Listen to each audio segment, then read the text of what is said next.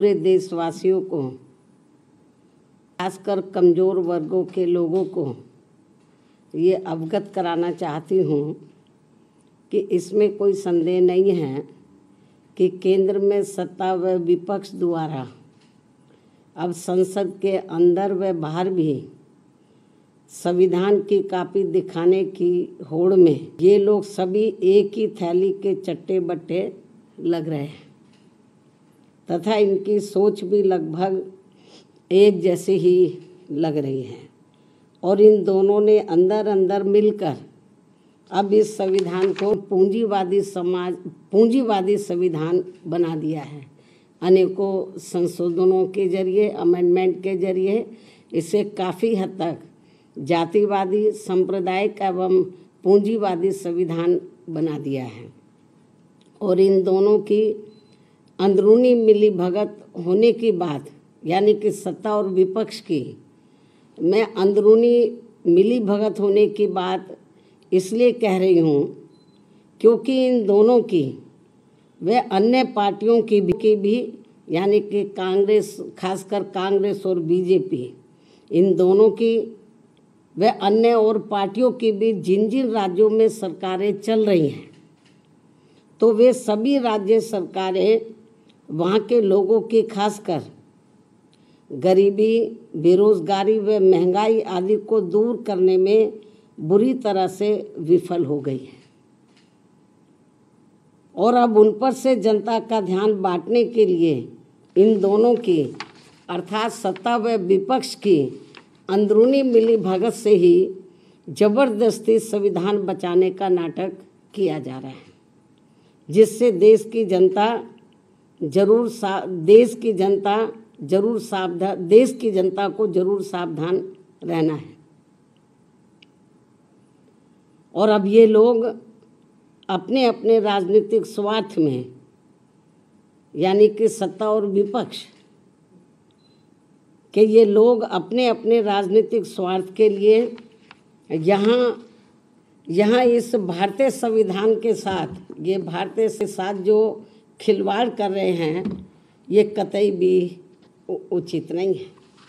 जबकि इन दोनों ने, अर्थात सत्ता व विपक्ष ने, अब तक अंदर अंदर मिलकर संविधान साहब डॉक्टर भीमराव अंबेडकर की मनसा वाला समतामूलक, धर्मनिरपेक्ष एवं बहुजन हिताय वाला संविधान नहीं रहा है।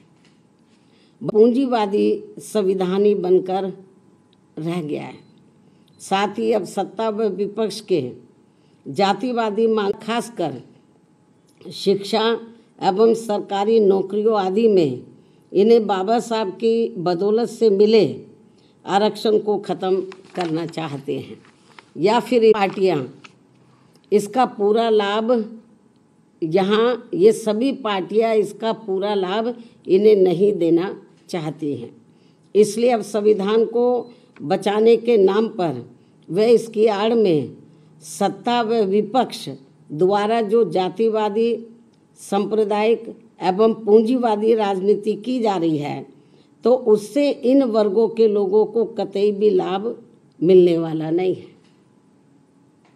और ये बात भी सर्वविदित है कि इस संदर्भ में खासकर कांग्रेस व बीजेपी के लोगों ने अंदर अंदर मिलकर यहाँ अति पिछड़ों के आरक्षण को लेकर आई मंडल कमीशन की रिपोर्ट को भी अपनी सरकारों में, अपनी सरकारों में लागू नहीं होने दिया था।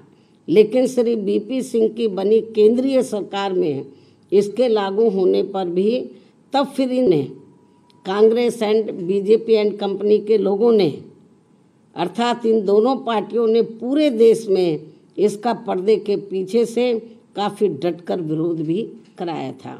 और इसको लेकर पूरे देश में ज़बरदस्त आंदोलन व तोड़ फोड़ आदि भी खूब कराई गई थी। ये सब किसी से छिपा नहीं है।